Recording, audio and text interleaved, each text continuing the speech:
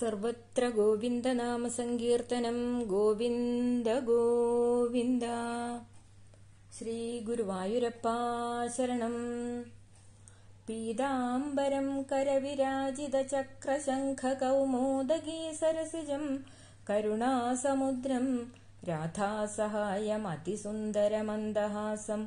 वातालयेशमनिशं हृदि भावयामि श्रीगुरुवायुरप्पा शरणम् ॐ नमो भगवते वासुदेवाय ॐ नमो भगवते वासुदेवाय ॐ नमो भगवते वासुदेवाय। अथ षष्ठस्कन्धे दशमोऽध्याय श्रीशुक उवाच। इन्द्रमेवं समादिश्य भगवान् विश्वभावन पश्यतामनिमेषाणाम् तत्रैवान्तर्दधे हरि। तथाभियाचितो देवे ऋषिराथर्वणो महान्। मोदमान उवाचेदम् प्रहसन्निव भारत। अपि वृन्दारगायूयम् न जानीथ शरीरिणाम् संस्थायाम् यस्त्वभिद्रोः दुःसहश्चेतनापः। जिजीविषूणाम् जीवानामात्मा पृष्ट इहेप्सिदा क उत्सहेदतं दातुं भिक्षमाणाय विष्णवे। देवा ऊचु किं नु तद्दुस्त्यजं ब्रह्मन्? पुंसाम्भूदानुकम्बिनां भवद्विधानां महतां पुण्यश्लोकेड्यकर्मणां। ननु स्वार्थपरो लोको न वेदपरसङ्कटं। यदि वेदनया चेत नेदिनाह यदीश्वर। ऋषिरुवाच धर्मं वश्रोतु कामेन यूयं मे प्रत्युदाहृताः।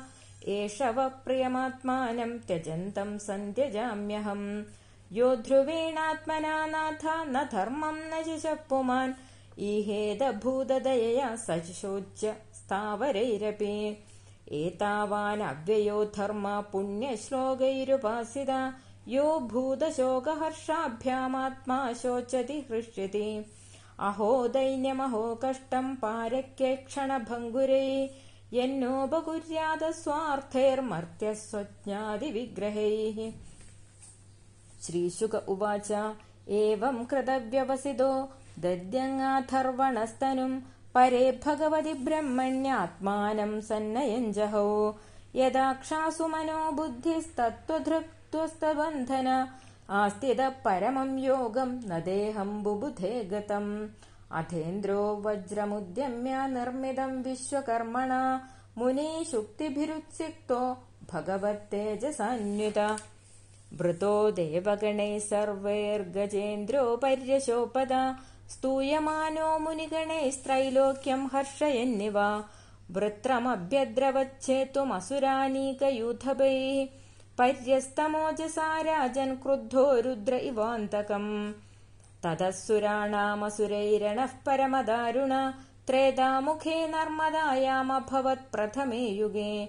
रुद्रेर्वसुभिरादित्यैरश्विभ्याम् पिद्रवह्निभिः मरुद्भिर्भुभिक् स्वाध्यैर्विश्वे देवैर्मरुत्पतिम् दृष्ट्वा वज्रधरम् चक्रम् रोचमानम् स्वयाश्रया नामृष्यन्नसुरा राजन्मृधे वृत्रपुरःसराः। नमुजिः शम्बरो नर्वा द्विमूर्धार्षभोम्बरा हयग्रीवः शङ्कुशिरा विप्रचित्तिरयो मुखा। पुलोमा वृषपर्वा च प्रहेदिर्हेदिरुत्कला दैतेया दानवा यक्षा रक्षांसि च सहस्रश।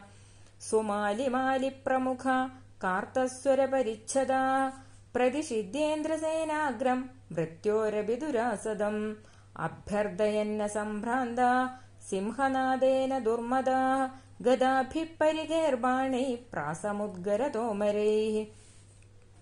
शूलैः परश्वथैः खड्गैः शदग्नेभिर्भुशुण्डिभिः सर्वतो वा किरन् शस्त्रैरस्त्रैश्च विबुधर्षभान्। न ते दृश्यन्त संच्छन्नाः शरजालैः समन्तदा पुङ्खानुपुङ्खपदिजैर्ज्योतीं श्रीवनभोगनैः न ते शस्त्रास्त्रवर्षौखा ह्यासेदुःसुरसैनिकान् छिन्ना सिद्धपदे देवैर्लघुहस्तैः सहस्रथा अथ क्षीणास्त्रशस्त्रौखा गिरिशृङ्गद्रुमोपलैः अभ्यवर्षन् सुरबलम् चिच्छिदुंस्ताश्च पूर्ववत्।